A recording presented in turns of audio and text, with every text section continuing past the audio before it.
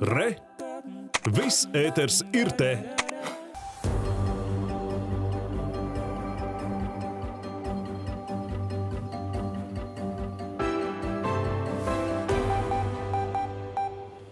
Labrīt, šorīt Latvijā debesis ir apmākušās, daudz viet arī līst. Vietām valsts dienvidos arī stipri nokrišņi, turklāt braukšanu šorīt apgrūtina arī vietām dūmaka. Valdošais mērens dienvid, dienvid austrumvējš, kas piekrastē pastiprinājies brāzmās līdz 10, 12 metriem sekundē, siltāks rīts kurzemes piekrastē, kur šobrīd plus 9, plus 12, kurzemes vidienē un arī valsts vidienē Zemgalē un Rīgas apkaimē plus 6, plus 7, vidzemē un Latgalē šobrīd no plus 3 līdz plus 6 grādiem.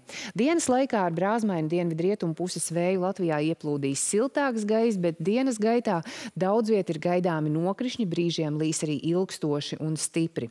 Turklāt dienā pastiprināsies dienvidu rietumu vējš, valsts lielākajā daļā brāzmās līdz 15-17 metriem sekundē pēcpusdienā un vakarpusē pie atklātas jūras, kā arī vidzemes ziemeļu piekrastē.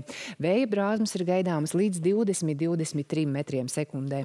Bet dienas otrajā pusē un vakarpusē daudz viet gaisa temperatūra paaugstināsies un valsts lielākajā daļā tā būs robežās no plus 10 līdz plus 14 grādiem. Rīgā rīts ir apmācies un lietains un arī dienā saglabāsies mākoņains laiks, līs brīžiem arī stipri. Šobrīd Rīgā gaisa temperatūra plus 5, plus 6, dienas laikā tā paaugstināsies līdz plus 13, vakarpusē līdz plus 14.